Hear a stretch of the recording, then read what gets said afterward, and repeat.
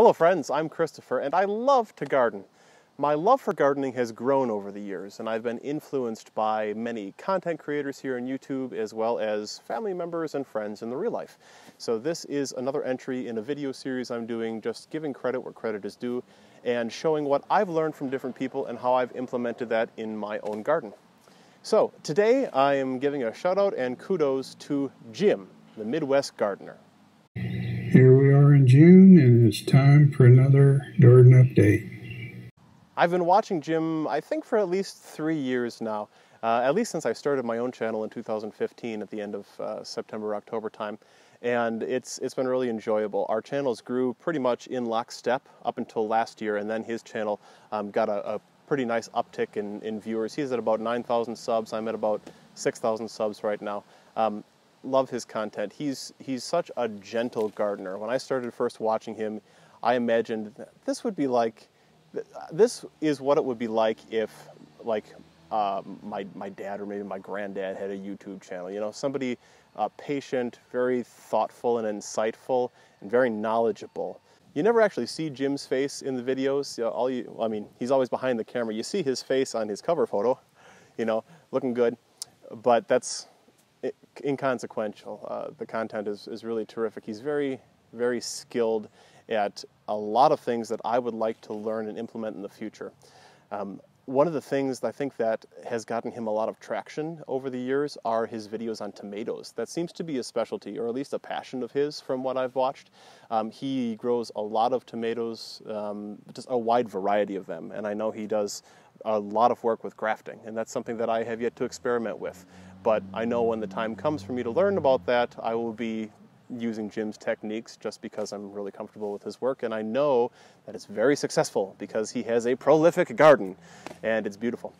So he is out of Kansas, so it's a couple gardening zones warmer than I am. I, am in 5A. I think he must be 7A or B, maybe even 8. I, I probably should have checked a cold hardiness zone map before I started this video, but that's okay. I'm sitting here amongst my rhubarb and my raspberries because Jim and I, I think we have bonded over raspberries. I, as you know, love them. I've got a hedge back here along the side and in the front of the yard. We grow a ton of raspberries. They're my wife's favorite fruit. Um, he grows raspberries as well of different varieties and actually of um, all the other gardeners that I've connected with on YouTube uh, Jim is the only one who can stake claim to having something of his in my garden. Um, in fact, I will splice in some footage right now um, amongst my row of whatever kind of, I will call them normal raspberries I have. He sent me a couple shoots of dark black raspberries a year ago and they, they took off and this year they are really taken off. So there's a little bit of Kansas Jim here in Oshkosh, Wisconsin, and it is super cool. So like I've said, Jim has a lot of great content, but one of my favorite videos of his, I think he put out last year, or maybe it was the year before that, he likes to grow, well, I think a lot of gardeners do. You know, we always like to pick something new every year to try, and one of the things that he tried a couple years back was growing peanuts.